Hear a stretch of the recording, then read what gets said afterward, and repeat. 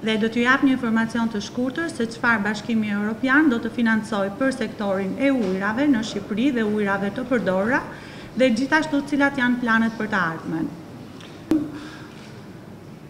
Sikurse edhe e dini, Shqipëria është që nga viti dy mijë e katër vend kandidat dhe komisionet europian gjithashtu merr bën menaxhimin e fondeve që i jepen Shqipërisë për gjithë procesin e paraderimit. Dhe një nga objektivat e Shqipërisë është që të përafrojë të gjithë legjislacionin e saj me legjislacionin europian dhe nuk flasim vetëm për legjislacionin mbi mjedisin, po të gjithë acquis-në komunitar që është korpusi i madh i ligjeve europiane me të cilat Shqipëria duhet të standartizohet. Dhe ne së pari kemi vënë re se niveli i i mjeteve për sa i përket grumbullimit të ujërave dhe trajtimit të ujërave në Shqipëri është mjaft i ulët.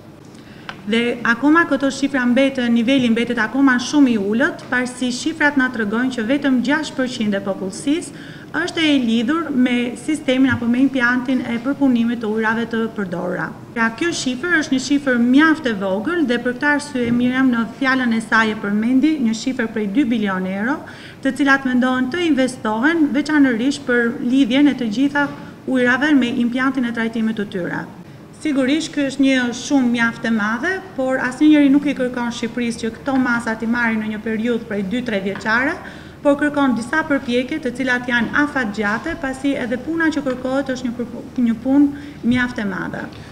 Sigurisht sikur sikurse e keni parë mjaft nga këto investime janë dhënë për sa i përket të gjithë sektorit të ujërave, po sikurse u përmend edhe në fjalim rreth shtatëdhjetë për qind e këtij granti apo e këtij fondi do të jepet për trajtimin e ujërave të përdorura.